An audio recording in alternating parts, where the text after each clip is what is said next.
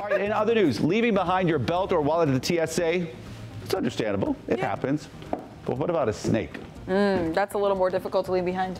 It appears someone forgot their ring neck snake at a checkpoint up in Newark on Monday night. It was a young girl that spotted it, and officers trapped it with a plastic bin and took it away. The TSA director said they have a pretty good lost and found program, but, quote, this passenger doesn't need to call us about his snake.